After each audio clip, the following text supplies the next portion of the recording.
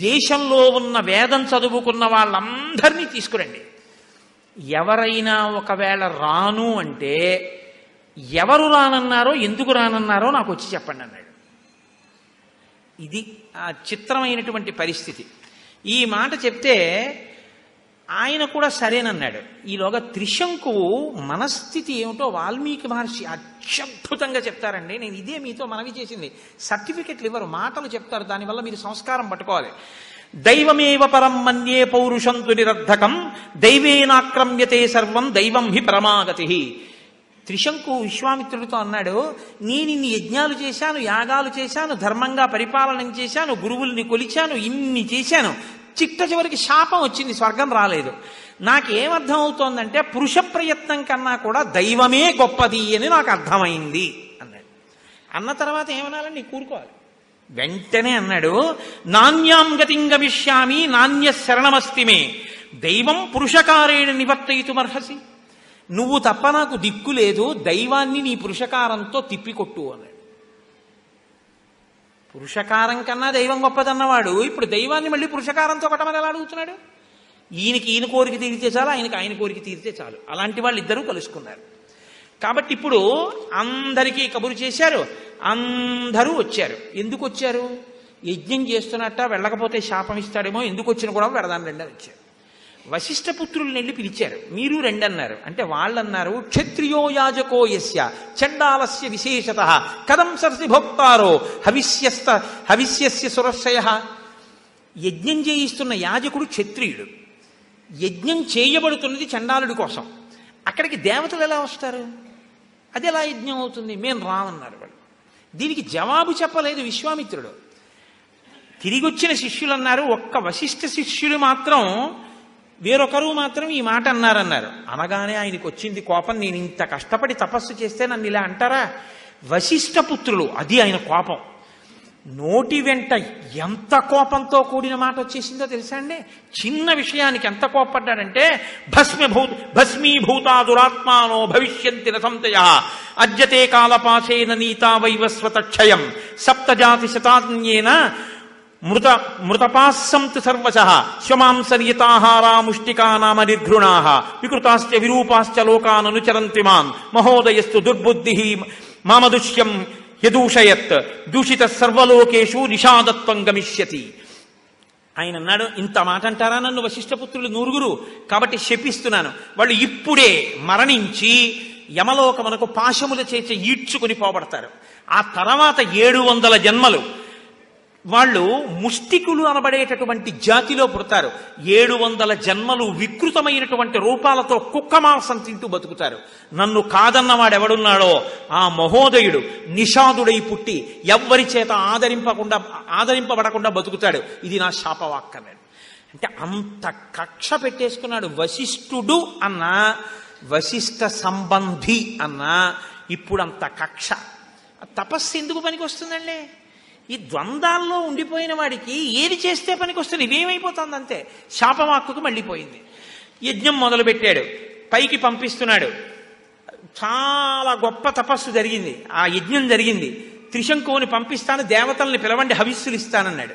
పిలిచారు ఋషులందరూ మునులు పిలిచారు వేద పండితులు పిలిచారు. వాళ్ళు రాలేదు. వాళ్ళు రాకపోతే కోపం వచ్చింది. నేను పిలిస్తే హవిస్సు పుచ్చుకోవడానికి రావట్లేదు. ఇదే కదా అడిగాడు వశిష్ఠపుత్రుడు.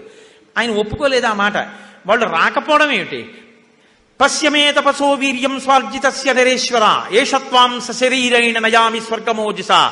దుష్ప్రాపం సశరీరేణ దివం గచ్చ నరాధిప. స్వార్జితం కించిదస్యస్తి కించిదప్యస్తి. మయాహిత తపస్ తపసఫలం. రాజన్ స్వతేజసా తస్య సశరీరో దివం వ్రజ. నేను చేసిన తపస్సు ఏమైనా కొంచెం మిగిలి ఉంటే దేవతలు హవిస్సులు పుచ్చుకోవడానికి రాకపోయినా త్రిశంకువును వెళ్ళిపో స్వర్గానికి శరీరంతో. అనగానే ఆయన ఆ కూర్చున్నటువంటి స్థానం నుంచి లేచి వెళ్ళిపోయాడు స్వర్గలోకానికి. ఇంద్రుడు సభ తీర్చి ఉన్నాడు అక్కడికి వెళ్ళాడు. వెళ్ళేటప్పటికి చూశాడు ఇంద్రుడు. చూసి వీడెవరి ఇలా వచ్చేస్తున్నాడు శరీరంతో అన్నాడు. త్రిశంకు వస్తున్నాడు అన్నారు మళ్ళీ గురువు గారు చెప్పారు వీడు వెళ్ళడానికి వీల్లేదని.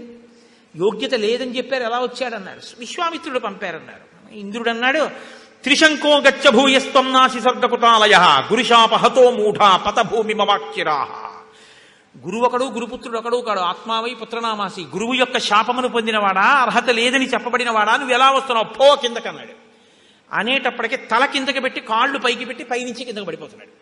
పడిపోతూ విశ్వామిత్ర మహర్షి పడిపోతున్నాను పడిపోతున్నాను రక్షించు రక్షించు స్వర్గంలో స్థానం లేదన్నారు తోసేశారన్నాడు. ఆయనకి కోపం వచ్చింది. ఋషి మధ్యే స తేజస్వీ ప్రజాపతి రివాపర సృజం దక్షిణ మార్గస్థాన్ సప్తర్షీన పరాన్ పునః. దక్షిణాం దిశమాస్తాయాముని మధ్యే మహాయశా. సృష్వా నక్షత్ర వంశం చ క్రోధేన కలుషీకృత. అన్యమింద్రం కరిష్యామి లోకో నాస్యా ఆస్యాతనింద్రక దైవతాన్య దైవతాన్యపి సక్రోధాత్. స్రష్టుం సముపచక్రమే. దేవతలు అంగీకరించి త్రిశంకువుకి స్వర్గంలో స్థానం ఇవ్వనన్నారు కాబట్టి నేను వేరే నక్షత్ర మండలాన్ని సృజిస్తున్నాను. ఇంకొక ఇంద్రుణ్ణి సృజిస్తాను దేవతలను సృజిస్తాను. ఉంటే ఇంద్రుడు ఒకడు ఉండాలి నేను సృజించిన వాడు లేకపోతే ఇంద్రుడు అన్నవాడు లేకుండా పోవాలి అని సంకల్పం చేసేసి నక్షత్ర మండలాన్ని సృజించేసాడు దేవతలందరూ పరిగెత్తుకొచ్చారు. అయ్యో అయ్యో ఇది ఎక్కడైనా ఉందా? ఇలా సృజించేయడమే స్వామి. ఆయన గురుశాపము కలిగినటువంటి వాడు. ఆయన స్వర్గానికి రావడానికి వీల్లేదు. సరే మీరు నిర్మించినటువంటి ఈ నక్షత్ర మండలం ఏమదైతే ఉందో గగనేతాంజనే కాని వైశ్వానర పదార్థై నక్షత్రాన్ని మునిశ్రేష్ట తేచు తేషు జ్యోతిష్యు జాజ్వలన్. ఈ నక్షత్ర మండలం ఆ జ్యోతిష్ చక్రానికి బయట ప్రకాశిస్తూ ఉంటుంది. ఈ త్రిశంకు తల కిందకి పెట్టి కాళ్ళు పైకి పెట్టి ఆ నక్షత్ర మండలం బయట ఉన్న నక్షత్ర మండలంలో ఎప్పుడూ సేవింపబడుతూ ఉంటాడు. అంతవరకు అధికారం ఇస్తామన్నారు. సరేనన్నాడు అంగీకరించాడు. అక్కడతో తన శప- తపశ్శక్తి చాలా పోగొట్టేసుకున్నాడు. వశిష్ఠపుత్రుల్ని శపించాడు మహోదయుణ్ణి శపించాడు అర్హతలైనటువంటి అర్హత లేనటువంటి త్రిశంకువుని స్వర్గానికి పంపించాడు. ఇవన్నీ పూర్తయ్యాయి. అయ్యో స్వర్గ నా తపస్సు అంతా పోయిందన్నాడు. మళ్ళీ పశ్చిమ దిక్కుకు బయలుదేరాడు. పశ్చిమ దిక్కుకు వెళ్ళి పుష్కర క్షేత్రంలో కూర్చుని తపస్సు మొదలుపెట్టాడు. చాలా ఉగ్రమైనటువంటి తపస్సు చేస్తున్నాడు. ఆ తపస్సు చేసేటటువంటి సమయంలో అయోధ్య నగరాన్ని అంబరీషుడు అనేటటువంటి రాజు పరిపాలన చేస్తున్నాడు. ఆయన యజ్ఞంలో ఆ అగ్నిహోత్రానికి ఇయ్యబడవలసినటువంటి పశువు కనపడకుండా పోయింది. ఇంద్రుడు ఎత్తుకుపోయాడు. ఆయన పశువు కోసమని చెప్పి కనీసం ఒక మనిషిని పశువుగా తెద్దామని వెతుక్కుంటూ బయలుదేరాడు. ఆయన కొంత దూరం వెళ్ళేటప్పటికీ ఒక కొండ శిఖరం మీద రుచీకుడు కూర్చుని ఉన్నాడు ఆ రుచీకుడు భార్యాసహితుడై బిడ్డలతో కలిసి కూర్చున్నాడు. ఈయన వెళ్ళి అడిగాడు అంబరీషుడు నీకు చాలా మంది కొడుకులు ఉన్నారు కదా ఒక కొడుకుని యజ్ఞ పశువుగా ఇచ్చేసేయి లక్ష గోవులు ఇస్తానన్నాడు. ఆ తల్లి తండ్రి చాలా చిత్రమైనటువంటి మాటలు మాట్లాడారు. ఆయన అన్నాడు నాహం జ్యేష్టం నరశ్రేష్ట విక్రీ విక్రీణీయాం కథంచన నా పెద్ద కొడుకుని మాత్రం నేను ఇవ్వను అన్నాడు తండ్రి. తల్లంది తస్మాత్ కనీయం సంపుత్రం నదాస్యే తవ పార్థివ. నేను చిన్న కొడుకునివ్వను నాకు చిన్న కొడుకు అంటే ప్రేమ అని తల్లింది. మధ్యలో ఉన్నటువంటి వాడు శునశ్చేపుడని ఆయన లేచన్నాడు పితాజ్యేస్తం అవిక్రేయం మాతాచ కనీయసం విక్రీతం మధ్యమం మన్యే రాజన్ పుత్రం నయస్వమాం తండ్రేమో పెద్ద కొడుకుని ఇవ్వనంటున్నాడు తల్లేమో చిన్న కొడుకునివ్వనంటోంది. అంటే మధ్యలో పుట్టినవాడిని నన్ను ఇచ్చేస్తాననే కదా లక్ష గోవులు ఇచ్చి నన్ను తీసుకెళ్ళిపోన్నాడు లక్ష గోవులు అక్కడ పెట్టేసి ఈ పిల్లాన్ని రథం ఎక్కించి తీసుకెళ్ళిపోతున్నాడు. రథం ఎక్కించి తీసుకెళ్ళిపోతుంటే నీకు విశ్వామిత్రుడి ఆశ్రమం దగ్గర అంబరీషుడు ఎందుకో ఆగాడు విశ్రాంతికి. ఈ పిల్లవాడు పరిగెత్తుకుంటూ మేనమామ అవుతాడు. విశ్వామిత్రుడి దగ్గరికి వెళ్ళి కాళ్ళ మీద పడి ప్రార్థన చేసి ఎలా అయినా నువ్వు నన్ను రక్షించని అడిగాడు. దయ కలిగినటువంటి విశ్వామిత్రుడు అన్నాడు. కొడుకుల్ని పిలిచి ఒరే మీరు చాలా మంది ఉన్నారు. పాపం ఆ పిల్లాడు బతుకుతానంటున్నాడు. రా దీర్ఘాయుష్మంతుడు అవుతానంటున్నాడు.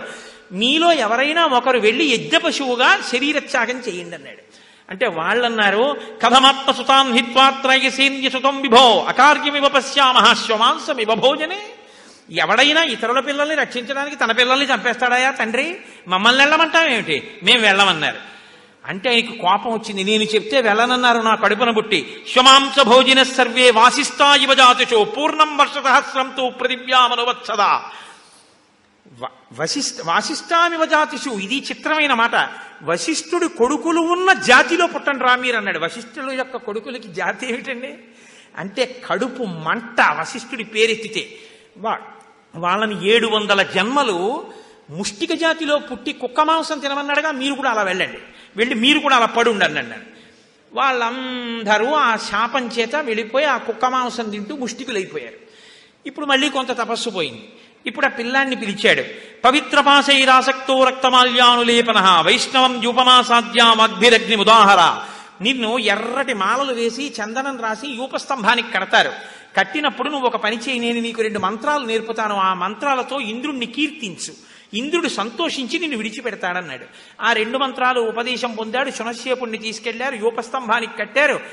ఆయన రెండు మంత్రాలని స్తోత్రం చేస్తే ఆ మంత్రమును పఠనం చేస్తుంటే విని ప్రీతి చెందినటువంటి ఇంద్రుడు ఆ యజ్ఞంలోకి వచ్చి ఏ- ఒక యజ్ఞము చేయడం వల్ల ఎంత ఫలితం వస్తుందో అంతకన్నా ద్విగుణీకృత ఫలితాన్ని నీకు ఇస్తున్నాను అంబరీష అని ఫలితం ఇచ్చి ఈ పిల్లవాడిని విడిచిపెట్టాడు. ఈ పిల్లవాడు సంతోషించి విశ్వామిత్రుడికి కృత కృతజ్ఞత చెప్పి వెళ్ళిపోయాడు.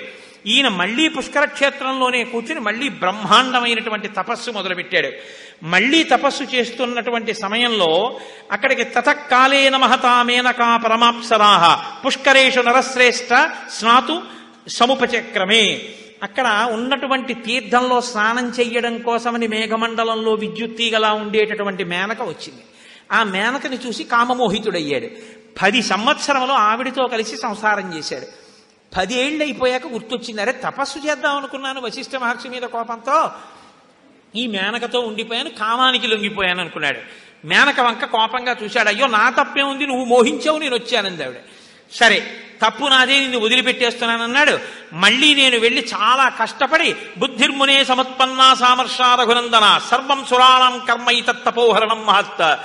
నేను కష్టపడి తపస్సు చేసి వృద్ధిలోకి వస్తానని కోపం పెట్టుకున్న దేవతలే ఈ మేనకని పంపించి నన్ను పాడు చేశారు.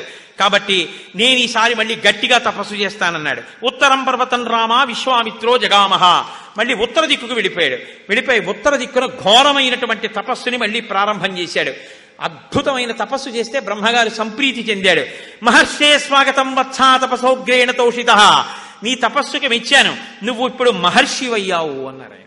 అంటే ఈయనన్నాడు బ్రాహ్మణ సపచశ్రుత్వా సర్వలోకేశ్వరస్య నవిష్ నవిషణ్ణో నసంతుష్టో విశ్వామిత్రస్తపోధన. సంతోషించలేదు బాధపడలేదు. ఇంత తపస్సు చేస్తే నేను మహర్షినా అయ్యాను. మహర్షి శబ్దమతులం స్వార్జితై కర్మభిశుభై యది మే భగవాన్ మాహత్తతోహం విదితేంద్రియ నేను ఇంద్రియాల్ని గెలిచానా అని అడిగాడు. అడిగితే బ్రహ్మగారు అన్నారు నువ్వు ఇంకా అయింది మహర్షే నువ్వు ఇంకా ఇంద్రియాల్ని గెలవలేదు ప్రయత్నం చెయ్యి అన్నాడు. మాటలండి మళ్ళీ తపస్సు మొదలుపెట్టాడు. అక్కడే విశేషమైనటువంటి తపస్సు చేస్తున్నాడు. ఎటువంటి తపస్సు చేశాడంటే సామాన్యమైనటువంటి తపస్సు కాదు ఘోరాతి ఘోరమైన తపస్సు. రెండు చేతులు పైకెత్తి పంచాగ్నిహోత్రముల మధ్యలో నిరాహారుడై చేశాడు.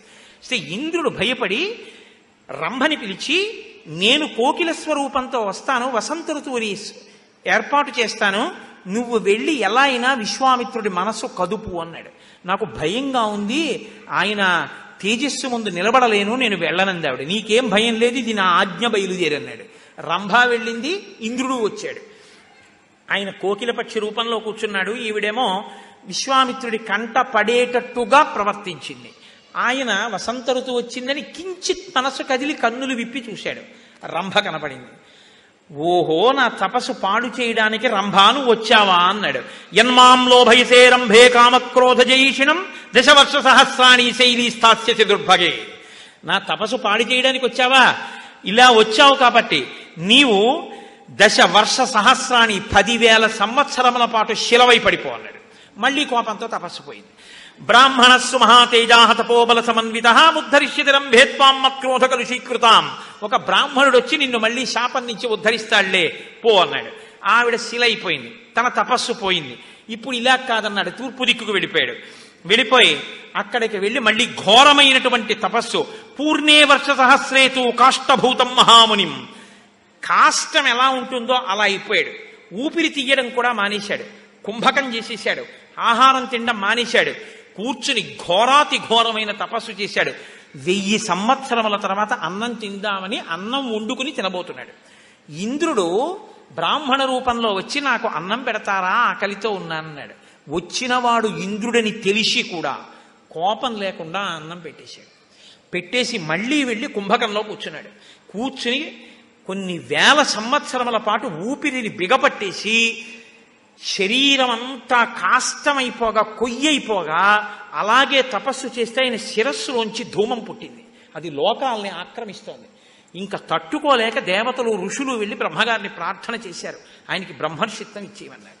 అప్పుడు బ్రహ్మగారు గబగబా హంసవాహనం మీద వచ్చి బ్రహ్మర్షే స్వాగతం తేస్తు తపసోస్వసుతోషిత బ్రహ్మణ్యం తపసోగ్రేణ ప్రప్తవానసి కౌశిక దీర్ఘమాయుష్యుతే బ్రహ్మం దదామి సారుద్గణ స్వస్తి ప్రప్నుహి భద్రంతే గచ్చ సౌమ్యధా సుఖం బ్రహ్మర్షి అని పిలిచాడు పిలుస్తూనే. బ్రహ్మర్షి స్వాగతం తేస్తూ బ్రహ్మర్షి స్వాగతం నువ్వు బ్రహ్మర్షివయ్యా అన్నాడు. అంటే ఆయన అన్నాడు నువ్వు బ్రహ్మర్షి అని పిలిస్తే నాకు సరిపోదు. బ్రహ్మణ్యం యదిమే ప్రాప్తం ప్రాప్తం దీర్ఘమాయుస్తథైవచ ఓంకారశ్చ వషత్కారో వేదాశ్చ వరయంతు మాం. క్షత్రవేద విదాం శ్రేష్టో బ్రహ్మవేద విదామపి బ్రహ్మపుత్రో వశిష్టో మాం ఏవం. వదతు దేవతా నిజంగా నేను బ్రహ్మర్షినైతే నాకు వేదములన్నీ ప్రకాశించాలి నాకు యజ్ఞం చేయించేటటువంటి అధికారం కావాలి నాకు దీర్ఘాయుర్దాయం కావాలి. వాటితో పాటు వశిష్ఠుడు వచ్చి నన్ను బ్రహ్మర్షి అని పిలుస్తాడా? దేవతలు వెళ్ళి వశిష్ఠుణ్ణి పిలిచారు. ఆయన ఆ స్థితిని పొందిన తరువాత వెయ్యేళ్ళ తర్వాత ఒక కబళం తినబోతుంటే ఇంద్రుడు వస్తే పెట్టేశాడు. ఇంద్రియాలను గెలిచి బ్రహ్మర్షి అయిన తరువాత నాకా కోపం బ్రహ్మర్షి అని పిలిచాడు. వశిష్ఠ మహర్షి ఇప్పుడు తెలిసింది నాకు బ్రహ్మర్షిత్వం అంటే. మహానుభావ నీకు మా గౌరవం అంటే మా గౌరవం. ఇద్దరు కౌగులించుకున్నారు నమస్కరించుకున్నారు. బ్రహ్మర్షిత్వాన్ని గెలుద్దాం అనుకున్నవాడు బ్రహ్మర్షి అయి దానిలో కలిసిపోయాడు. ఇది పతాక స్థాయి. ఇదే అద్వైత సిద్ధాంతంలో చరమస్థాయి. తాను బ్రహ్మముగా అహం బ్రహ్మాస్మి స్థాయిలో నిలబడిపోయేటటువంటి స్థితి. ఈ స్థితిని పొందాడయా? అంతటి మహాత్ముడు విశ్వామిత్రుడంటే సామాన్యుడు అనుకుంటున్నావా అని శతానందుడు ఆ రోజు ఆ కథ చెప్పిన తరువాత ఆ రాత్రి మహర్షులందరూ కలిసి ఒక కుటీరంలో గడిపారట. ఎంత సంతోషంగా గడిపుంటారో చూడండి. విశ్వామిత్రాదులు అందరూ అక్కడ ఉండడం అంటే ఆ- యజ్ఞానికి వచ్చిన వాళ్ళు విశ్వామిత్రుడిని చూస్తూ ఎంత పొంగిపోతారు? దీని తర్వాత ఇంకా అద్భుతమైన ఘట్టం. మిగిలిన మహర్షులు కూడా వస్తారు. తర్వాత రోజు తెల్లవారింది జనక మహారాజు గారు సభకి పిలిపించారు స్వాగతం చెప్పారు వెళ్ళారు కూర్చున్నారు. ఇక్కడ చూడాలి అందం సీతారామ కళ్యాణం. ఏ తద్దర్శయ భద్రంతే కృతకామౌ నృపాత్మజౌ దర్శనాదస్య ధనుషో యథేస్తం ప్రతియాస్యత. ఓ జనక మహారాజా ఈ పిల్లలిద్దరు ఎందుకు వచ్చారో తెలుసా? శివధనస్సు చూడడానికి వచ్చారయ్యా. ఏది ఒక్కసారి శివధనస్సు చూపించి చూసి పిల్లలు వెళ్ళిపోతారు? అందుకండి తీసుకొచ్చాడు. చూపించి వెళ్ళిపోవడానికే. కాదు సీతా కళ్యాణానికే తీసుకొచ్చాడు. మరి ఆ మాట అంటే అల్లా తను ముందు బయట పడిపోతే పరమధర్మాత్ముడైన రామచంద్రమూర్తి ఏమంటాడో? అందుకని తన అలా అనకుండా శివధనస్సు చూపించమన్నాడు. శివధనస్సు చూపించమంటే శివధనస్సు ఒకటి చూపించి జనకుడు ఊరుకుంటాడా? జనకుడు శివధనస్సుకి కథ చెప్పాడు. మా పూర్వీకులలో దేవరాతుడికి పరమశివుడు అనుగ్రహించాడు ఈ ధనస్సుని. ఈ ధనస్సుకి నా కూతురికి ఓ ముడుందన్నాడు. అధమే కృత కృషత క్షేత్రం లాంగలా దుద్ధితామయ క్షేత్రం శోధయతా సీతేతి విశ్రుత. భూతలా దుద్ధితా సాతు. వ్యవర్ధతమమాత్మజ వీర్యశుల్కేతి మే కన్యా స్థాపితేయం మయో నిజ. నేను ఒకనకొకప్పుడు యజ్ఞం చేద్దామని నాగలి పెట్టి భూమిని దున్నితున్నప్పుడు ఉద్ధిత తనంత తాను పైకి లేచింది. దొరకడం కాదు. ఉద్ధిత పైకి లేచింది ఆవిడ భూమిలోంచి. లేచి ఇక్కడ చెప్పలేదు. అయోధ్యకాండ చివర చెప్పింది రహస్యం. తనకి తాను సీత అని పేరు పెట్టుకుంది ఆవిడ. ఆ పిల్లని నేను తెచ్చి పెంచాను. ఆమె అయోనిజ. కాబట్టి ఆమె నరకాంత కాదు. నరకాంత అయితే నరుడికి పుట్టాలి. నరుడికి పుట్టిన పిల్ల కాదు. అయోనిజ అయినటువంటి పిల్ల. నరకాంత కాని పిల్లకి నేను భర్తను ఎలా తీసుకొస్తాను? ఇది జనక హృదయం. ఇప్పుడు పుట్టిన పిల్ల సామాన్యమైన పిల్ల కాదు. తన దగ్గర పెరిగింది. ఇప్పుడు ఈ పిల్లకి ఎవరు భర్తయో తెలియాలి అంటే అయోనిజ పుట్టింది కాబట్టి అయోనిజ అయినటువంటి పిల్లని భార్యగా స్వీకరించగలిగినటువంటి వాడు నరుడిగా కనపడుతున్నా నరుడిగా వచ్చినవాడైన వాడు తప్ప నరుడిగా పుట్టవలసినటువంటి అవసరంతో చేసుకున్న కర్మచేత నరుడైన వాడు కానివాడై ఉండాలి. వాడెవడో తను ఎలా పట్టుకుంటాడు? కాబట్టి నేను వీర్యశుల్కని చేశాను ఈ విన్నన్నాడు అంటే పరాక్రమాన్ని అడ్డు పెట్టాడు ఎవరు శివధనస్సు నెత్తుతారో వాళ్ళకి ఇస్తానన్నాడు. శివధనస్సుని ఎత్తడం నిలబెట్టడం ఆరోపణే సమావయోగే తో వేపనే తొలనేపివా? వంచడం వింటినారి కట్టడం అంటే పుట్టిన పిల్ల మాయామానుష స్వరూపిణి సౌందర్యలహరిలో శంకర భగవత్పాదులు అంటారు. మహామాయా విశ్వం భ్రమయసి పరబ్రహ్మ మహిషి అంటారు ఆవిడ. పరబ్రహ్మమునకు మహిషి. ఆమె మహామాయా స్వరూపిణి. లోకాన్ని తిప్పుతోంది. ఎవరిని అనుగ్రహించాలనుకుంటుందో వాళ్ళకి మాయా అన్న తెర తీసేస్తుంది. హనుమను అనుగ్రహించింది. రాముడు అర్థమయ్యాడు. ఆవిడ అనుగ్రహించదు. రావణుడికి అర్థం కాదు. తలలు తెగిపోతాయి పదైనా. అటువంటి మాయామానుష స్వరూపం ఆవిడ. ఈ మాయాస్వరూపాన్ని వహించి భరించి ధరించగలిగిన వాడెవడో? వాడు శివధనస్సును ఎక్కుపెట్టి నియమించి అల్లెత్రాడు కట్టగలిగిన వాడు. వాడు పరమాత్ముడు. వాడు ఎక్కడ పుట్టాడో నాకు తెలియదు. వాడు నరుడిని తీసుకొచ్చి భర్తగా పెడదామంటే వాడు చేసుకున్న కర్మకు పుట్టిన నరుడు భర్త కాలేడు. సీతమ్మ రాముడు ఎవరో చెప్పగలదు. విష్ణువు నరరూపంలో ఎక్కడున్నాడో చెప్పగలిగినటువంటి తల్లి భూమండలం మొత్తం మీద మైథిలి ఒక్కతే. సీతయే రాముణ్ణి చెప్పాలి. ఇది అసలు హృదయం జనకుడిది. నేను కాదయా చెప్పవలసింది? సీతని అడ్డు పెడుతున్న శివధనస్సునెత్తినవాడు శివుడే. శివుడికి కేశవుడికి అభేదం. ఉన్నది ఒక్కటే పరబ్రహ్మం. కాబట్టి ఈ ధనస్సు ఎవడెక్కు పెడతాడో వాడికి ఇస్తా పిల్లనన్నాను. అంటే చాలా మంది వచ్చారు. ఒకడు ఇద్దరు కాదు. ఎందరో వచ్చారు. వచ్చి వీళ్ళందరూ శివధనస్సుని ఎక్కు పెట్టలేకపోయారు. మాయాస్వరూపాన్ని వహించగలిగిన పరంధాములు కారు వాళ్ళు. కాబట్టి వాళ్ళు ఎక్కు పెట్టలేకపోయినా కక్ష మాత్రం పట్టుకున్నారు. పట్టుకుని వీళ్ళందరూ కలిపి ఒక సంఘం అయ్యారు. మనకి పిల్లని ఇవ్వకుండా ఇలా ఇబ్బంది పెడుతున్నాడు. ఎవడో ఎత్తట్లేదు? ఆ శివధనస్సు ఏం చేసుకుంటాడా? పిల్లని ఇంట్లో పెట్టుకున్నంత అందగత్తే? మనకి పిల్లని ఇవ్వట్లేదు కాబట్టి జనకడ మీద యుద్ధం చేద్దామని అందరూ కలిసి జనకడ మీద యుద్ధానికి వచ్చారు. అయితే నేనేం చేశాను? అంటే నేనంటే జనకుడు. ఆయన ఏం చేశాడు? తలుపులు వేసుకుని లోపల కూర్చుని తపస్సు చేశాడు. తపస్సు చేస్తే తత సంవత్సరే పూర్ణే క్షయం జాతాని సర్వచ సాధనాని మునిశ్రేష్ట తతోహం వృషదుఃఖిత. బయట యుద్ధం జరుగుతోంది. లోపల దేవతలను ఆరాధన చేశాడు. సంవత్సరానికి లోపల ఉన్న ఆహార పదార్థాలన్నీ కూడా తరిగిపోయి తినడానికి లేదు. చాలా ఇబ్బంది వచ్చేసింది కోట లోపల ఉన్న వాళ్ళకి. అలాంటప్పుడు నేను చేసిన ఉపాసనకి తతో దేవగణాన్ సర్వాం తపసాహం ప్రసాదయం దరుశ్చ పరమ ప్రీతా చతురంగ బలం సురాహ. నేను చేసిన తపస్సుకి మెచ్చి దేవతలు తమ చతురంగ బలాలను ఇచ్చారు. ఆ చతురంగ బలాలు పట్టుకుని నేను ఈ వచ్చిన రాజులందరినీ ఓడించాను. వీళ్ళందరూ వెనక్కి వెళ్ళిపోయారు. వెనక్కి వెళ్ళిపోయిన తర్వాత అప్పటి నుంచి నేను ఈ శివధనస్సు ఎక్కి పెట్టేటటువంటి వాడు ఎవడైనా దొరుకుతాడా? దొరికితే పిల్లనిద్దామని ఎదురు చూస్తున్నాను. కాబట్టి విశ్వామిత్ర మహర్షి ఈ శివధనస్సు అంటే చూసి వెళ్ళిపోయేది కాదు. ఒకవేళ ఎక్కువ పెడితే క్షత్రియుడు అన్నవాడు చూసిన తర్వాత ముట్టుకుంటానంటాడు. ముట్టుకున్నాక ఎక్కువ పెడతానంటాడు. ఒకవేళ ఎక్కువ పెడితే శభాషణ సర్టిఫికెట్ ఇచ్చి పంపం. సీతమ్మని ఇచ్చేస్తాను. యద్యస్య ధనుషో రామ కుర్యాదారోపణం మునేహే సుతాన్ అయోనిజాం సీతాం దద్యాం దశరథేరహం. ఒకవేళ రామచంద్రమూర్తి కాని నిజంగా శివధనస్సుని చూసిన తర్వాత ముట్టుకుంటాను ఎక్కు పెడతానని చెప్పి శివధనస్సుని ఎక్కు పెట్టగలిగితే సీతమ్మని. ఎటువంటి సీతమ్మని? అయోనిజ నా కూతురుగా వచ్చింది గర్వం. సుతాం నా కూతురు. అయోనిజాం అయోనిజ సీతాం సీత దగ్యాం నేనిచ్చేస్తాను దాశరథేరహం దాశరథికి. రాముడికి ఇస్తాను. అంటే నేను ఇంత స్థితిని పొందాను నన్ను అనుగ్రహించింది పరాశక్తి. ఇది జనకుడి యొక్క పొంగు. జనకస్యవచ శ్రుత్వా విశ్వామిత్రో మహాముని ధనుర్దర్శయ రామాయ ఇది హోమాచ పార్థివం. తీసుకొచ్చి ఆ శివధనస్సుని చూపించండి అన్నాడు. అంటేట ఐదు వేల మంది పొడగరులై బలాఢ్యులైనటువంటి వ్యక్తులు చక్రములు కలిగినటువంటి ఒక మంజూష పెట్టెలో ఉన్నటువంటి శివధనస్సుని అతి కష్టం మీద తోసి తీసుకొచ్చి అక్కడ పెట్టారట.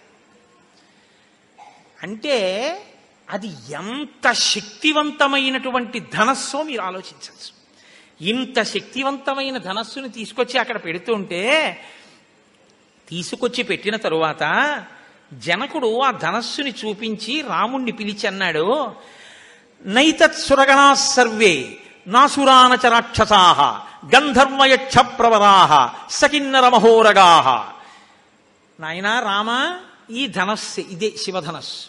చూశావుగా? అంటే అసలు ఆ బండి వస్తుంటేనే మీరు ఆలోచించండి. ఐదు వేల మంది దూర దూరంగా నిలబడి ఈడ్చుకొస్తున్నారంటే ఆ శివధనస్సు ఉన్నటువంటి మంజూష ఎంత ఉండుంటుంది ఎంత పెద్దది ఉండుంటుంది ఇప్పుడు ఆ మంజూషలో ఉన్న ధనస్సు ఎంత ఉంటుంది అసలు దాన్ని ఎవరైనా ముట్టుకునే ప్రయత్నం చేస్తారా? ఇప్పుడు ఇంకో పిరికి మాట ఒకటి వేస్తున్నాడు జనకుడు.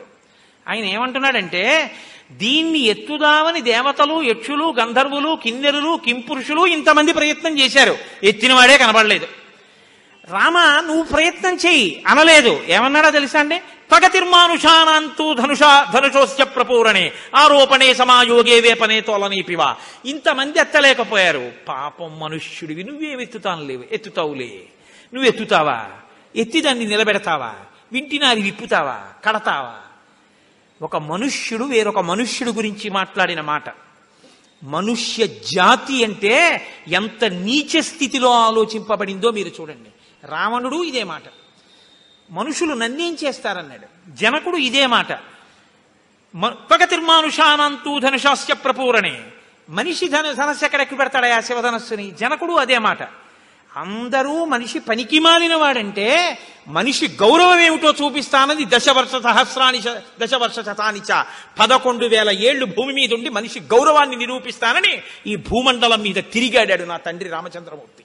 అందుకే మనుష్య జాతి రుణపడింది రామచంద్రమూర్తికి ఇప్పుడు చూపించాడు. చూపించిన తరువాత విశ్వామిత్రుడు విన్నాడు. ఆయన త్రికాల వీధి ఆయనకి తెలుసు ఆయన- ఆ పిల్లాడు ఎక్కువ పెడతాడో ఎక్కువ పెట్టాడో తెలుసు. విశ్వామిత్రస్తు ధర్మాత్మ. మహర్షి మాటలు చూడండి. ఆయన ధర్మం తెలుసున్నవాడు.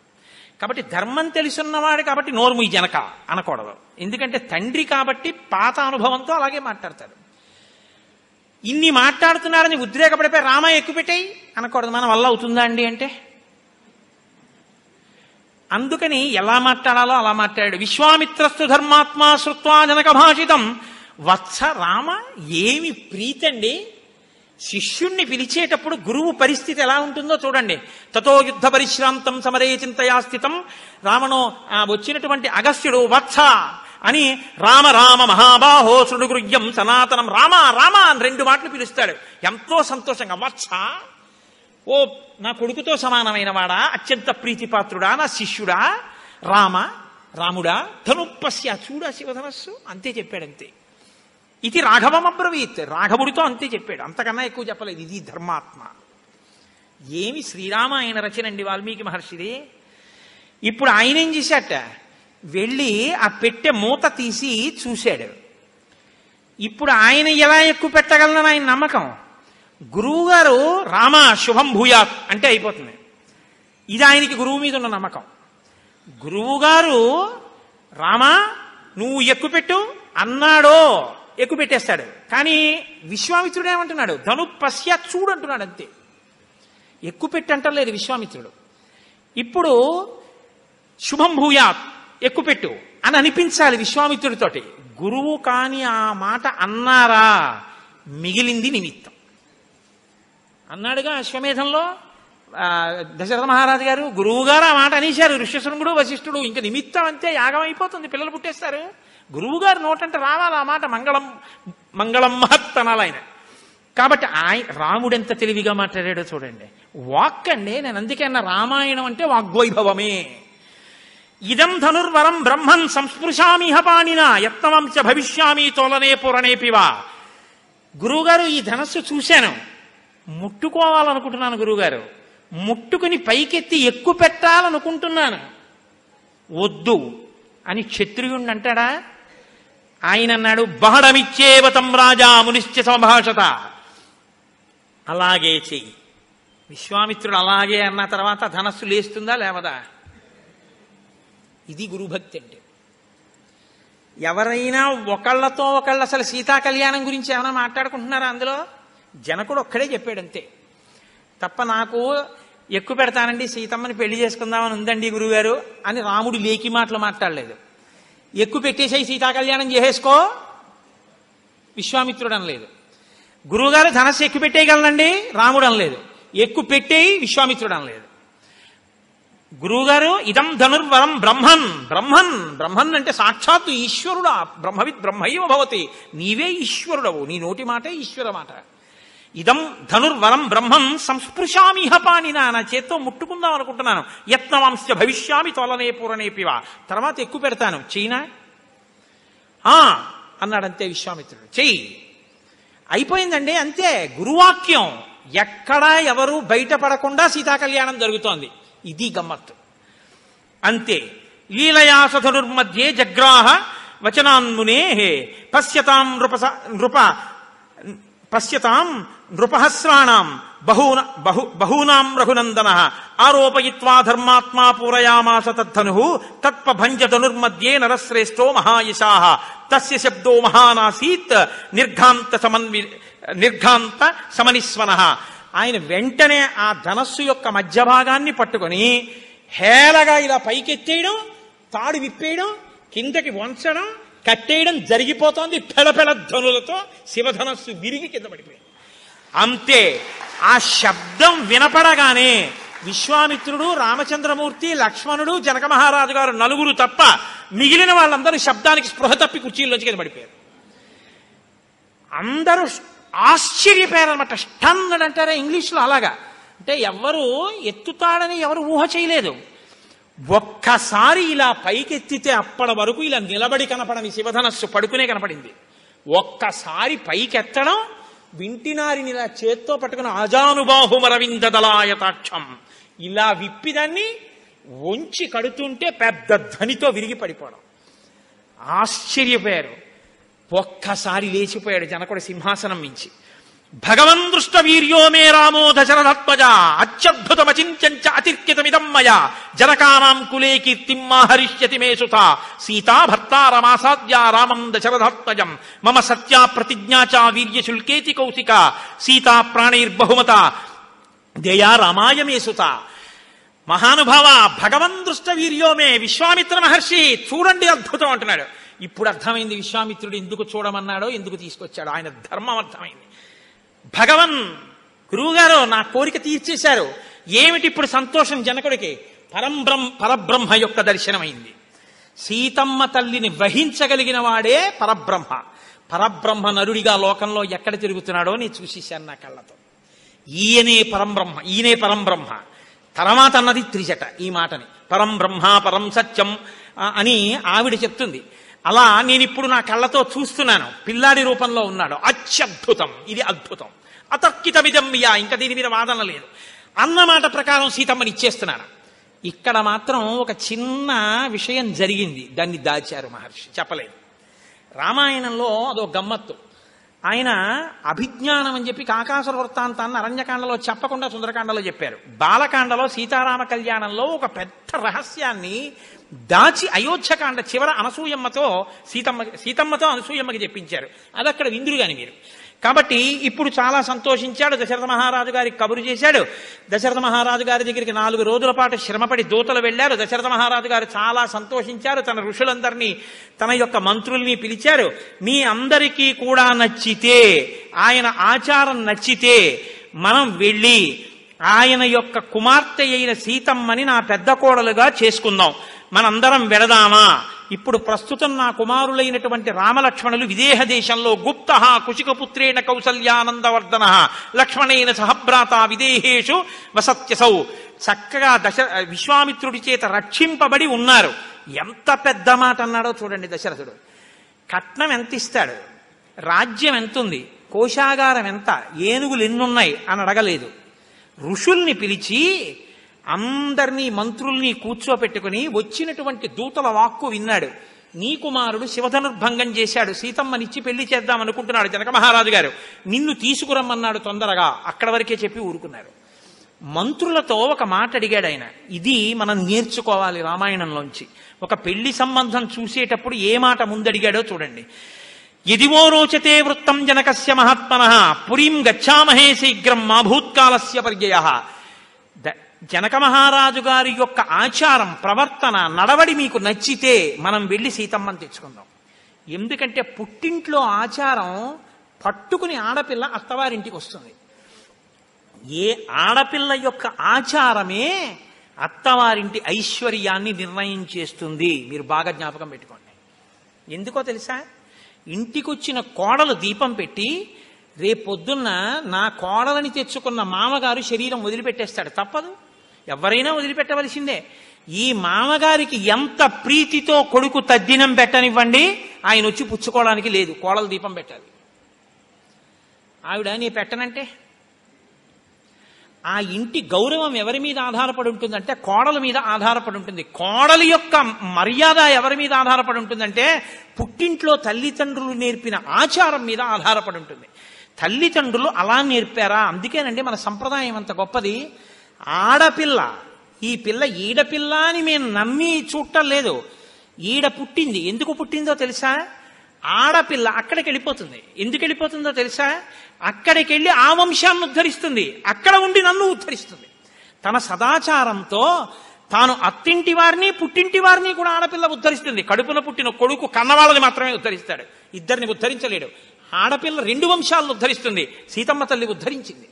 కాబట్టి ఆడపిల్ల ఆడపిల్లకి ఆచారం ఉండాలి ప్రవర్తన తెలిసి ఉండాలి కోడలికి. కోడలకి ప్రవర్తన తెలుసో తెలియదో తెలుసుకోవాలంటే తల్లిదండ్రులకి ఆచారం ఉందో లేదో తెలియాలి. ఆచారం వాళ్ళకు ఉందో లేదో తెలియాలంటే ఋషులు మీకు తెలియాలి. మీకు నచ్చితే నేను వస్తాను పిల్లని తెచ్చుకుందాం. మీకు నచ్చకపోతే కబురు చేసేద్దాం. ఏది ముందు చూశాడు? ఆచంద్రతారార్కం వంశాభివృద్ధి ఐశ్వర్యాభివృద్ధికి ఆచారం కలిగిన పిల్లని చూసుకున్నాడు దశరథుడు. రామాయణం మనకి నేర్పింది ఎలా బతకాలో. ఓ సంబంధం చూసుకుంటే ముందు ఏది అడగాలో మనం నేర్పింది. ఋషులందరూ ముక్తకంఠంతో ఉన్నారు. జనకుడంటే సామాన్యుడు కాడు మహానుభావ మనం బయలుదేరుదామన్నారు. వశిష్ఠో వామదేవస్థ జాబాలి రథకాశ్యప మార్కండేయ సుదీర్ఘాయు ఋషి కాత్యయనస్తథ. ఈ ఋషులందరినీ పిలిచాడు. బయలుదేరండి అన్నాడు తన రథాన్ని సిద్ధం చేసుకున్నాడు. అందరూ బయలుదేరారు. వాళ్ళు రావడానికి మూడు రోజులు పెట్టింది దశరథుడు వెళ్ళడానికి నాలుగు రోజులు పెట్టింది అంటే దూతలు అంత తొందరగా వచ్చారు. విశ్రాంతి తీసుకోకుండా నాలుగు రోజులు ప్రయాణం చేసి మిథిలానగరాన్ని చేరుకున్నారు. సంతోషంగా జనక మహారాజు గారు స్వాగతం చెప్పారు. చెప్పిన తర్వాత కూర్చోపెట్టారు. చక్కగా నా తమ్ముడైనటువంటి కుశధ్వజుడు ఉన్నాడు.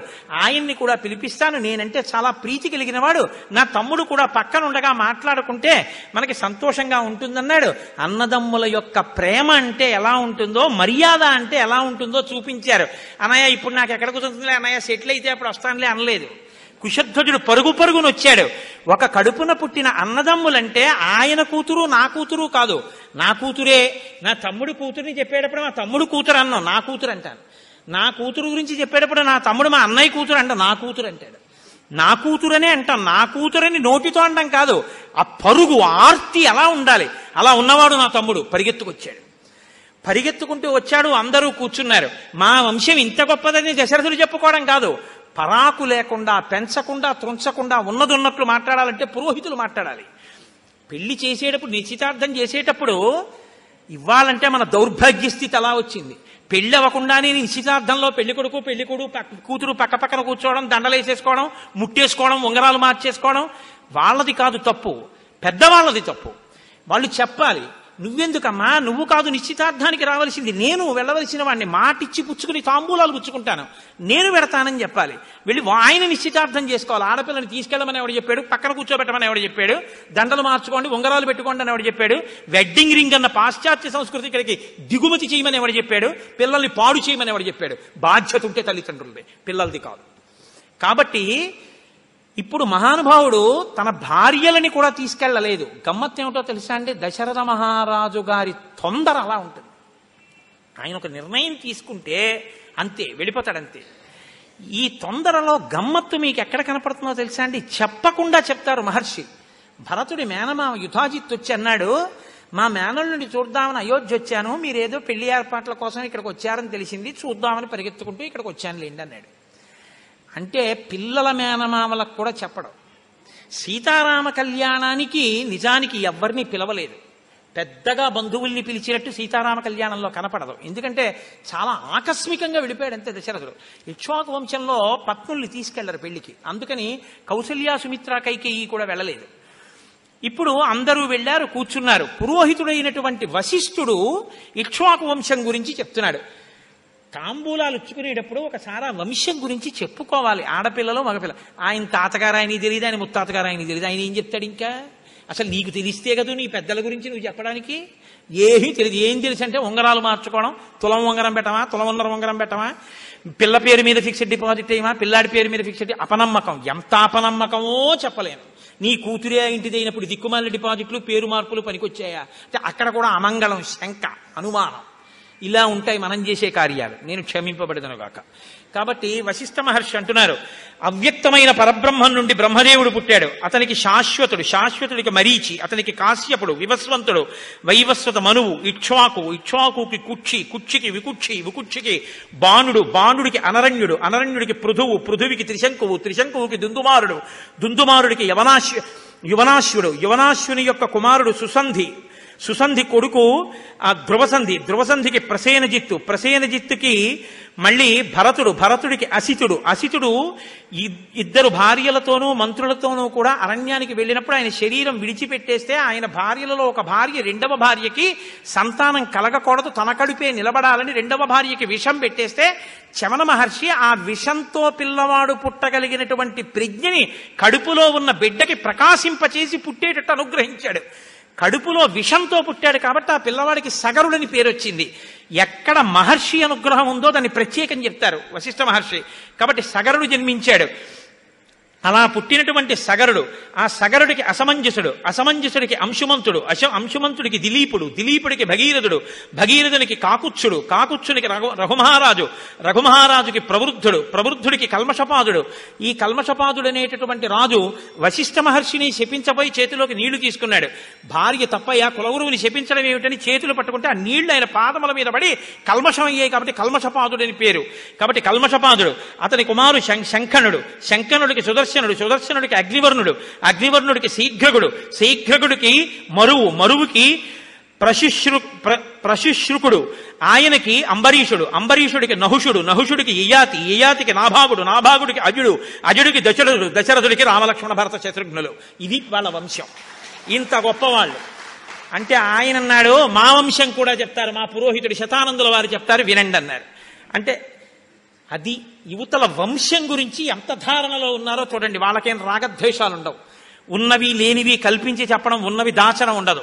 కాబట్టి ఇప్పుడు ఆయన అన్నాడు శతానందుడు అన్నాడు ఈ వంశానికి మూల పురుషుడు నిమి మహారాజు ఆయనకి ఉదావసుడు ఉదావసుడికి నందివర్ధనుడు నందివర్ధనుడికి సుకేతుడు సుకేతుడికి దేవరాతుడు దేవరాతుడికి బృహద్రుడు బృహద్రుడికి మహావీరుడు మహావీరుడికి సుధృతి సుహృతి సుధృతికి దుష్టకేతువు ఆయనకి హర్యశ్వుడు ఆయనకి మరువు ఆయనకి ప్రతింధకుడు ఆయనకి కీర్తిరథుడు ఆయనకి దేవమీఢుడు ఆయనకి విభుధుడు ఆయనకి మహీద్రకుడు ఆయనకి స్వర్ణరోముడు స్వర్ణరోముడికి హ్రస్వరోముడు హ్రస్వరోముడికి జనకుడు జనకుడి కూతురు సీత. ఇప్పుడు రేపు పొద్దున ప్రవర చెప్తారు కళ్యాణంలో.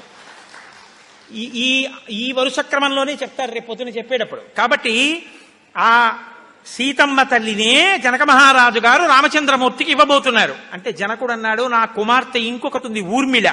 ఆమెని లక్ష్మణుడికి ఇస్తానన్నాడు. ఈలోగా విశ్వామిత్ర మహాము మహాముని జోక్యం చేసుకుని అన్నారు ఇక్కడ వరకు వచ్చింది కాబట్టి నేను ఒక మాట చెప్తాను.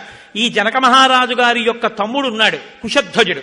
ఈ కుశధ్వజుడికి ఇద్దరు బిడ్డలు ఉన్నారు మాండవి శృతకీర్తి. మాండవి శృతకీర్తిని భరతుడికి శత్రుఘ్నుడికి ఇచ్చి వివాహం చేద్దామన్నారు. సరే అంగీకరించారు. నాందీదేవతాహ్వానం సమావర్తన కార్యక్రమం ఒక లక్ష గోవుల్ని సమర్పించి దానం చేసి దశరథ మహారాజు గారు అత్యద్భుతంగా స్నాతక వ్రతాన్ని పూర్తి చేశాడు. స్నాతకము అన్న మాట వైదిక సంస్కృతిలోది గుర్తుపెట్టుకోండి. విశ్వవిద్యాలయాలు స్నాతకోత్సవం చేస్తున్నాయంటారు. స్నాతకం అంటే ఏమిటో తెలుసా అండి? గురువు గారు నిర్ణయించాలి స్నాతకంలో. వీడు గృహస్థాశ్రమానికి పనికొస్తాడా పనికిరాడా అని. అందుకని చెప్తారు ఒరే నాయనా నువ్వు ఆశ్రమం మారి ఎందుకు ఎడుతున్నావో తెలుసా? సత్యం బ్రూయాత్ ప్రియం బ్రూయాత్ నువ్వు ఎప్పుడు చాలా జాగ్రత్తగా మాట్లాడు సత్యమే మాట్లాడు. శ్రద్ధయా దేయం ఏదైనా ఇచ్చేటప్పుడు శ్రద్ధగా ఈ అశ్రద్ధగా ఇవ్వకు. తల్లిని గౌరవించు తండ్రిని గౌరవించు అతిథుల్ని గౌరవించు. ఇన్ని మాటలు గురువుగారు చెప్తే అన్నిటికీ అంగీకరించిన తర్వాత ఇతనికి నువ్వు పిల్లని ఇవ్వచ్చని చెప్తారు గురువుగారు. అది స్నాతకోత్సవం. పట్టభద్రుడైనట్టే స్నాతకోత్సవంలో పెళ్ళి కొడుకు గృహస్థాశ్రమంలోకి వెళ్ళడానికి యోగ్యత గురువుగారి చేత ప్రకటింపబడుతుంది. ఇప్పుడు ఈ స్నాతకోత్సవం అంతా పూర్తయింది. కళ్యాణోత్సవానికి వివాహానికి రమ్మని జనక మహారాజు గారు కబురు చేశారు. దశరథ మహారాజు గారు తన కుమారుల్ని తీసుకుని వివాహ మంటపంలోకి ప్రవేశించాడు. వేదిక మీద చక్కగా బ- బ్రహ్మ బంగారు కలశలు పెట్టారు పాలికలు పెట్టారు వాటిలో లాజలు పేలాలు పోశారు. అందులో అక్షతారోపణం చేశారు. మొలకలన్నీ కూడా ములి చక్కగా అందులో ఆ మట్టి పోసి ఆ మట్టిలో నవధాన్యాలు వేసి అన్ని పూజా ద్రవ్యాల్ని కూడా మంగళప్రదమైనటువంటి ద్రవ్యాలు అవన్నీ పేలాలు మొదలైనటువంటివి పరమమంగళ ద్రవ్యాలు మేము ఏదైనా పెద్ద ఉత్సవం చేస్తే కాకినాడ పట్టణంలో ఊరిరిగింపులో ముందు కన్యలందరూ కూడా పేలాలు జల్లుతూ వెళ్తారు. పేలాలు జల్లితే దేవతలు వస్తారు. మరవరాలు జల్లితే ప్రేతాలు వస్తాయి. అందుకే శవాన్ని తీసుకెడితే మరవరాలు చల్లుతారు ఇంట్లో మరవరాలు పెట్టరు పిల్లలకి అందుకే. ఎందుకురా కింద మీద బస్తావు పేలాలు తిని పేలాలు తిని అంటారు పేలాలు ఎప్పుడు యజ్ఞయాగాది క్రతువులలో దేవతల యొక్క అనుగ్రహానికి వాడబడతాయి. అవి మంగళ ద్రవ్యాలు అవి వేదిక మీద ఎప్పుడు ముందే పెళ్ళికి సిద్ధంగా పెట్టుంచాలి. అవి ఉంటే చాలు మంగళప్రదం. కొన్ని కొన్ని ద్రవ్యాలకు ఆ శక్తి ఉంటుంది. కాబట్టి ఇప్పుడు సిద్ధంగా ఉన్నారు. సీతమ్మ తల్లి అగ్నిహోత్రానికి అటు కూర్చుంది. రామచంద్రమూర్తి ఇటు కూర్చున్నారు. జనక మహారాజు గారు వచ్చారు. సీతమ్మ తల్లి చెయ్యి పట్టుకున్నారు. తత సీతాం సమానీయ సర్వాభరణ భూషితాం. సమక్షమగ్నే సంస్థాప్య రాఘవాభిముఖే తదా. అబ్రవీ జనకో రాజా కౌసల్యానందవర్ధనం. రాముణ్ణి చూసి అన్నారు ఇయం సీత మమ సుత సహధర్మచరీతవ ప్రతీచ్య చైనాం భద్రం తే పాణిం గృహీష్వ పాణిన పతివ్రత మహాభాగా ఛాయేవానుగతా తదా ఇక్ష్వా ఇత్యుక్త్వా ప్ర ప్రాక్షిజ ప్రాక్షిపద్రాజ మంత్రపూత జలం తదా సాధు సాధ్యతి దేవానాం ఋషీణాం వదతాం తదా దేవదుందుభి నిర్ఘోష పుష్పవర్షో మహానభూత్ ఏం దత్వా తదా సీతాం మంత్ర మంత్రోదక పురస్కృతాం అబ్రవీజ్జనకో రాజా హర్షేణాభిపరిప్లుత ఆయన ఆ సీతమ్మ తల్లి చెయ్యి పట్టుకుని ఈయం సీత ఈమె సీత మమ సుత ఎంత సంతోషమో నా కూతురు. మమ సుత సహధర్మచరీతవా ఎందుకు ఇస్తున్నానో తెలుసా? ధర్మంలో నిన్ను అనుసరించి ఉంటుంది. పతివ్రత పతివ్రత ఈమె వివాహమునకు పూర్వము చేసిన నోములన్నీ మంచి భర్త కోసం. వివాహం తర్వాత చేసే వ్రతాలన్నీ మీ యొక్క అభ్యున్నతి కోసం. పతివ్రత మహాభాగ ఛాయేవానుగత సదా నీడ అనుసరించినట్టు నిన్ను అనుసరిస్తుంది. అటువంటి పిల్లని నీకు ఇస్తున్నానని చెప్పి రామచంద్రమూర్తి చేతిలో సీతమ్మ తల్లి చెయ్యి పెట్టి ఆ పాణిగ్రహణం వాళ్ళకి సుముహూర్తం. కాబట్టి ఆ సుముహూర్త సమయానికి పాణిగ్రహణం చేయించారు. దేవదుందుబులు మోగాయి పుష్పవృష్టి కురిసింది. ఆ తర్వాత లక్ష్మణాగచ్చ భద్రంతే ఊర్మిళాముజ్జితామ్మయ ఉచ్చి ప్రతి ఇచ్చ పాణిం గృహ్ణీష్వా మా భూత్కాలస్య పర్యయ. లక్ష్మణ రా రా అని చెప్పి లక్ష్మణుడి కూడా ఆ లక్ష్మణుడి చెయ్యి పట్టుకుని ఊర్మిళ యొక్క ఊర్మి ఆ లక్ష్మణ ఊర్మిళ యొక్క చెయ్యి లక్ష్మణుడి యొక్క చేతిలో పెట్టారు. తర్వాత తమేవ ముక్వా జనకో భరతం చాభ్యభాషత. గృహాన పాణిం మాండవ్యాహ పాణినారఘునందన. మాండవి యొక్క చేతిని భరతుడి యొక్క చేతిలో పెట్టారు. శత్రుఘ్నంచాపి ధర్మాత్మా బ్రవీజనకేశ్వర శృతకీర్త్యా మహాబాహో పాణిం గృహ్ణీశ్వ పాణిన శత్రుఘ్నుడి యొక్క చేతిలో శృతకీర్తి యొక్క చెయ్యి పెట్టారు. నలుగురు అన్నదమ్ములకి వివాహాలు పూర్తయ్యాయి. చాలా సంతోషంగా ఆ రాత్రి సీతారామ కళ్యాణం పూర్తయిపోయింది. మరునాటి ఉదయం విశ్వామిత్ర మహర్షి వచ్చి వాళ్ళకి అక్షతలు వేసి ఆశీర్వచనం చేసి నేను ఉత్తర దిక్కుగా కౌశిక్యుని దగ్గరికి వెళ్ళిపోతున్నానని బయలుదేరిపోయాడు. బయలుదేరి మహానుభావుడైనటువంటి దశరథుడు కుమారుడితోటి కోడళ్ళతోటి వశిష్ఠాది మహర్షులతోటి సంతోషంగా బయలుదేరితే దుశ్శకునాలు కనపడ్డాయి. పెద్ద గాలి లేచింది. చెట్లు పడిపోతున్నాయి. పక్షులు కోలాహలం చెందుతున్నాయి. ఎందుకు ఇలా జరుగుతోందంటే వశిష్ఠ మహర్షి అన్నారు. భయం లేదు దుర్నిమిత్తములను బట్టి గమనిస్తే ఏదో పెద్ద ఉపద్రవం వచ్చినట్టుగా వస్తుంది కానీ వచ్చి తప్పిపోతుంది సంతోషంగా ఉంటామన్నారు. ఇంతలోకే రుద్ర తేజస్సుతో సమానమైన తేజస్సుతో పరశురాముడు కనబడ్డాడు. దదర్శ భీమ సంకాశం జటామండలధారిణం భార్గవం జామదజ్ఞం తం రాజరాజ విమర్దినం కైలాస వివదుర్ధర్షం కాలగ్ని వివదుస్సహం జలం తమివ తేజోభిః దుర్నిరీక్షం పృథగ్జనై స్కంధే చాపజ్య వరుషం ధనుర్విద్ ధనుర్ విద్యుద్గణోపమం ప్రఘృష్య శరముఖ్యంచ త్రిపురఘ్నం యథాశివం త్రిపురములను కాల్చినటువంటి పరమశివుడు ఎటువంటి తేజస్సుతో ఉంటాడో అటువంటి తేజస్సుతో ఆ గండ్రగొడ్డలని చేత్తో పట్టుకుని విష్ణు చాపాన్ని ఒక చేత్తో పట్టుకుని పరశురాముడు ప్రత్యక్షమయ్యాడు. ప్రత్యక్షమై లోకంలో రెండే ధనస్సులు ఉన్నాయి శివధనస్సు విష్ణుధనస్సు. మహానుభావుడైనటువంటి విశ్వకర్మ నిర్మించి శివ విష్ణు శివకేశవులకు ఇచ్చాడు. శివకేశవులకు ఇచ్చాడన్నప్పుడు మీరు జ్ఞాపకం పెట్టుకోండి. అది లోకరక్షణ కొరకు రెండు రూపములుగా ఈశ్వర స్వరూపము ప్రకాశించి ఇవ్వబడుతుంది. తప్ప నిజంగా భేదాలుంటాయన్న భావాన్ని మీరు ఎప్పుడూ హృదయంలో పెట్టుకోకూడదు. కాబట్టి దేవతలకి ఒకనాడు ఒక ముచ్చట వచ్చింది. శివకేశవుల మధ్యలో యుద్ధం జరిగితే ఎవరు గెలుస్తారు అని. శివకేశవుల మధ్యలో యుద్ధం జరగడానికి నా రెండు చేతులు కొట్టుకోవడం ఎటువంటిదో అట్లా ఉంటుంది అది కాబట్టి కానీ ముచ్చట తీర్చాలి అంటే ఏం చేస్తారు? నాన్నగారు బాబయ్య ఇద్దరు కాసేపు పిల్లాన్ని ఆనందింపజేయడానికి ఇద్దరు సరదాగా కుస్తీ పట్లు పడితే ఎలా ఉంటుందో అలా కుస్తీ పట్లు పట్టారు. కానీ భవిష్యత్ దర్శనం కలిగిన వారు కాబట్టి ఈ ధనస్సుతో ఒక పనుంది కాబట్టి విష్ణు ధనస్సుని రుచీకుడి దగ్గర పెట్టారు. శివధనస్సుని జనక మహారాజు గారి దగ్గరికి వచ్చేట్టు చేశారు. దానివల్ల సీతారామ కళ్యాణం శివధనస్సు వల్ల జరుగుతుంది. రావణ సంహారం విష్ణు ధనస్సు వల్ల జరుగుతుంది. కాబట్టి ఇప్పుడు విష్ణు ధనస్సుని తీసుకొచ్చి ఇచ్చేయాలి. ఎందుకంటే రామావతారం వచ్చేసింది. ఇప్పుడు ప్రయోజనం నెరవేరిపోవాలి. పరశురాముడు వచ్చాడు. ఇప్పుడు నువ్వు శివధనస్సుని భిన్నం చేశావని తెలిసింది. ఏది ఈ విష్ణు ధనస్సుని స్వీకరించి చూద్దాం. దీన్ని కూడా తీసుకుని బాణాన్ని ఎక్కువ పెట్టగలవా? ఎక్కువ పెడితే నీతో ద్వంద్వ యుద్ధం చేస్తానన్నాడు. అంటే రాముడికి కోపం వచ్చింది. ఎందుకో తెలుసా? నీవు చెప్పినటువంటి మాటలు ఆదరింపబడవలసినటువంటి మాటలుగా ఉన్నాయి పరశురామ.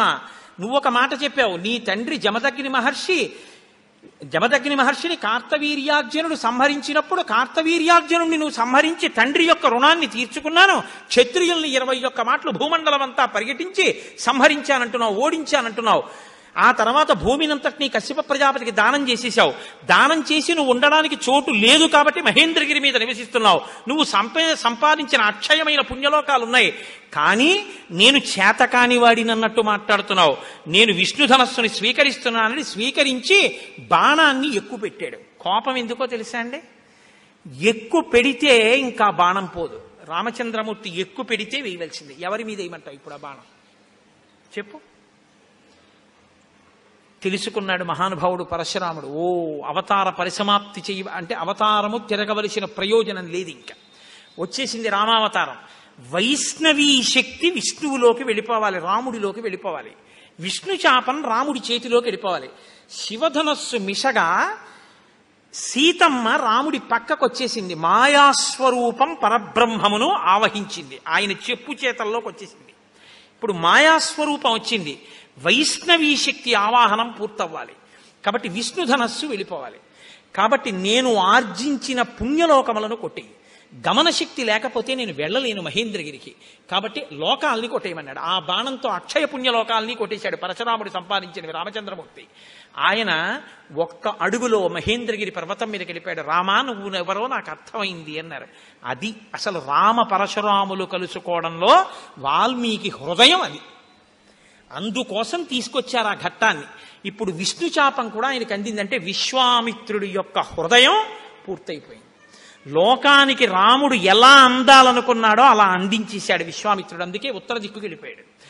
నువ్వు నాకు విశ్వామిత్రుడి వైపు సంబంధీకుడివి. ఆయన చెల్లెలైనటువంటి సత్యవతీదేవి యొక్క కుమారుడు కాబట్టి నీ జోలికి నేను బాణం వేయట్లేదని చెప్పాడు.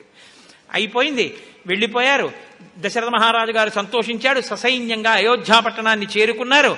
భరత శత్రుఘ్నుల్ని తీసుకుని మేనమామ అయినటువంటి యుధాజిత్తు తన రాజ్యానికి తీసుకెళ్ళిపోయాడు ఉన్నటువంటి రామలక్ష్మణులు సీతమ్మ ఊర్మిళ గురువుల్ని మామగారిని అత్తగారిని ఎలా సేవించాలో అలా సేవిస్తూ చక్కగా సంతోషంగా ఉన్నారు. రామచంద్రమూర్తి తనకిచ్చినటువంటి పరశురాముడిచ్చినటువంటి విష్ణుధనస్సుని వరుణి వరుణుని దగ్గర న్యాసంగా ఉంచాడు. అవసరం వచ్చినప్పుడు తీసుకుంటారని ఆయన దగ్గర ఉంచాడు. శుశ్రూషమాణా పితరం వర్తయంతి నరసభా కాలేతు కాలేతు నీతిజ్ఞా తోషయంతో గురుంగుణై. గురువుల్ని పెద్దల్ని ఎలా సేవించాలో చక్కగా అలా సేవిస్తున్నారు. వచ్చిన కోడళ్ళు ప్రతిరోజు పూజా మందిరాన్ని గంధ పుష్ప అక్షతలతో ఆరాధన చేస్తున్నారు. బ్రాహ్మణులకు చేయవలసినటువంటి దానాలు చేస్తున్నారు.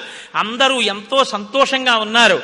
ప్రియాతు సీతారామస్య దారాహ పితృకృత ఇది. గుణాద్రూప గుణాఛాపి ప్రీతిర్భూయోభ్యవర్తత నాకు మా తండ్రి గారు నిర్ణయం చేసి తీసుకొచ్చిన సంబంధం నాకు ఎటువంటి పిల్ల భార్యగా ఉండాలో మా తండ్రికి తెలుసు కాబట్టి నాకు తెచ్చాడు కాబట్టి సీతమ్మ నాకు తగినది అన్న భావనతో రాముడు సీతమ్మ యందు ప్రీతితో జీవనాన్ని మొదలు పెడితే సీతమ్మ తల్లి తన గుణముల చేత రామచంద్రమూర్తికి తన ఎందున్న అనురక్తిని దిగుణీకృతం చేసుకుందిట. ఇద్దరి యొక్క స్థితి ఎలా ఉందంటే తస్యాశ్చ భర్తాద్విగుణం హృదయే పరివర్తతే. అంతర్జాతమపి వ్యక్తం ఆఖ్యాతి హృదయం హృదా. తస్య భూయో విశేషేణ మైథిలీ జనకాత్మజ దేవతాభి సమారూపే సీతా శ్రీదివరూపిణి. ఎంత అద్భుతమైన మాట చూడండి. సీతమ్మ తల్లి రాముడికి తగినది అని దశరథుడు తీసుకొచ్చాడు కాబట్టి రాముడికి ప్రీతి. మరి సీతమ్మకి రాముడి ప్రీతి మీద ప్రీతి ఎందుకు? రాముడు నా భర్త అందుకే ప్రీతి.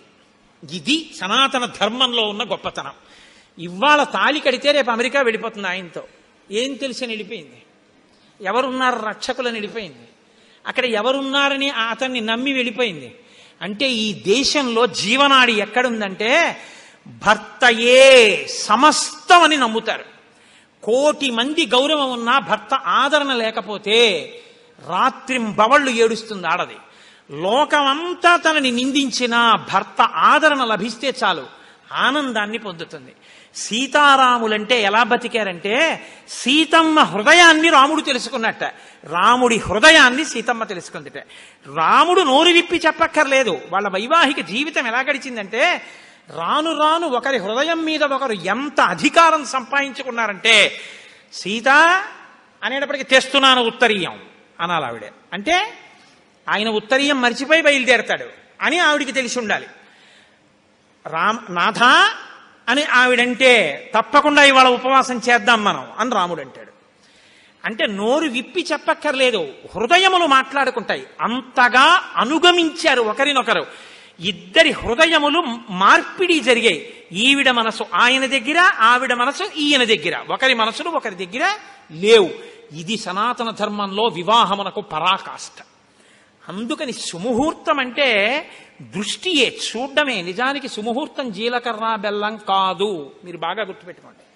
జీలకర్ర బెల్లం సుముహూర్తం అని వేదమంత్రం చెప్పట్లేదు. చూడడమే సుముహూర్తం. ఏం శర్మగారు చూడడమే. నేను ఏ ఏ సమయంలో ఈ శుభముహూర్తంలో చూశానో అది శుభముహూర్తమగుగాక అని అడుగుతాడు పెళ్ళి కొడుకు. అడిగితే ఇది సుముహూర్తోస్తూ ఇదే సుముహూర్తం అని సభలో ఉన్న వాళ్ళందరూ అక్షతలేస్తారు. ఒకరి కన్నులలోకి ఒకరు చూసుకోవడం.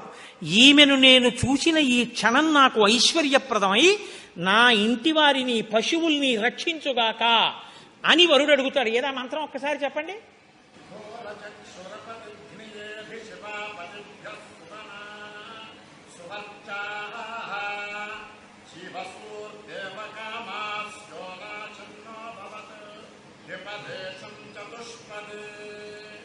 త్రిపదే రెండు కాళ్ళున్నవి నాలుగు కాళ్ళున్నవి ఈమెను నేను చూసిన సుముహూర్తమునందు సుముహూర్తమై వర్ధిల్లుగాక.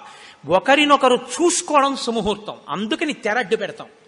దాని మీద అందుకే పసుపుతో స్వస్తిక్ తప్ప ఇంకా ఏమీ వెయ్యకూడదు అని శాస్త్రం. అంతేగాని తొంగి తొంగి చూడమాకు చందమామ పిచ్చరాతలు అవి దాని మీద రాయకూడదు.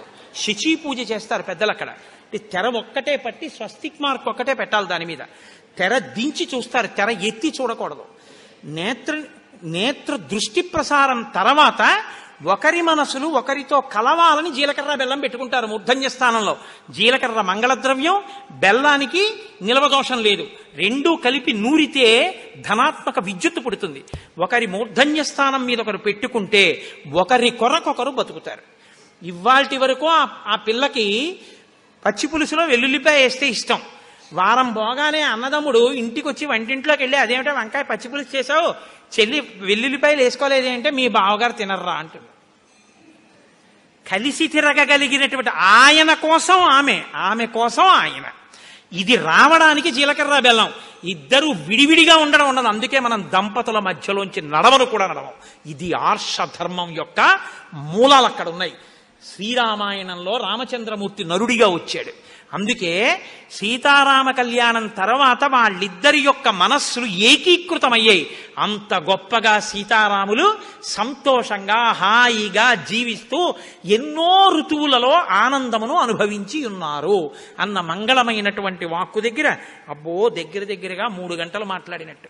కాబట్టి నేటి ప్రసంగాన్ని ఇక్కడితో పూర్తి చేస్తాను. మంగళాశాసనపరై మదాచార్య పురోగమై సర్వైశ్చ పూర్వైరాచార్యై సత్కృతాయాస్తు మంగళం. మంగళం కోసలేంద్రాయ మహనీయ గుణాత్మనే చక్రవర్తి తనూజాయ సర్వభౌమాయ మంగళం. ఉమా కాంతాజ కాంతాజ కామితార్థప్రదాయినే శ్రీగిరీషాయ దేవాయ మలినాథాయ మంగళం. కరచరణకృతం వా కర్మవాక్కాయజం వా శ్రవణనైనజం వా మానసం వాపరాధం విహితమవిహితం వా సర్వమేత్తక్షమస్వా శివ శివ కరుణాబ్ధే శ్రీ మహాదేవ శంభో. సర్వం శ్రీ ఉమామహేశ్వర బ్రహ్మార్పణమస్తు స్వస్తి.